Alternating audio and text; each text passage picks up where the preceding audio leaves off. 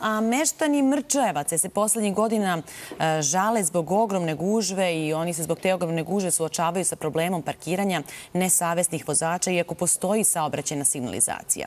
Mi smo se prošle sedmice bavili ovom temom, pa da vidimo dokle se stiglo. U Mrčajevcima je trenutno sa meštanima naša Milena Sokić. Milena, da li se nazire rešenje?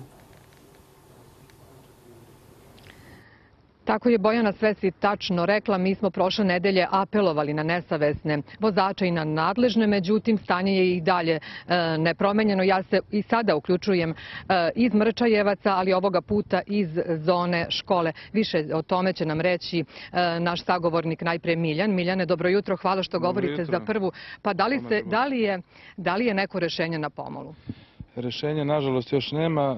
Najpre bih se zahvalio vašoj televiziji na predusetljivosti što ste prepoznali ovo kao jedan veliki problem na raskrsnici Ibarske magistrale sa školskom ulicom u Mrčevcima, ali odmah na, na drugom mestu moram da istaknem sa žaljenjem da se niko od nadležnih nije javio i da je nastavljen ruski rulet sa životima naše dece, starijih sugrađana i mi svakog dana smo i dalje u strahu, jer nismo uočili da, se niko od, da je niko od nadležnih prepoznao kao problem i reagovao.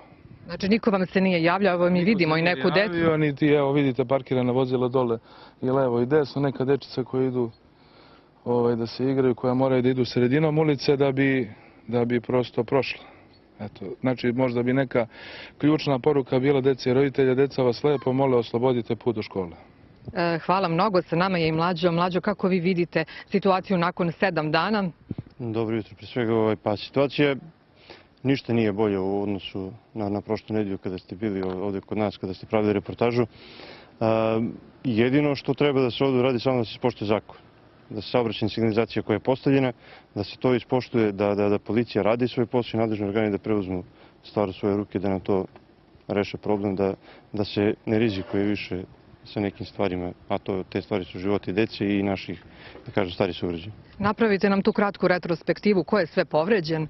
Pa, povređen je dečak, ja mislim da je šesti razred, i povređena je jedna starija žena zbog tako nepropisnih e, parkiranih vozila, gde vozači koji su bili, a ta u prolazu e, dete je bilo iza tog nepropisno parkiranog vozila, istrčalo je, vozač nije uspio da ga uoči kako treba i desilo šta se desilo, tako isto i sa tom starijom gospođom. Nažalost, mislim, eto, sva sreća nisu stradili, ali se imali su ozbiljne povrede. E, hvala mnogo Bojana. Eto, ostaje da apelujemo na nesavesne vozače i na nadležne da reše ovaj problem, a mi ćemo se e, baviti ovom temom i naredne sedmice i sve dok se ovaj problem ne reši. Bojana? Mislim da će se brzo rešiti. Evo i ministar Dačić nam je u gostima za koji minut, tako da ćemo se dotaći i ove teme. Hvala ti, Milena.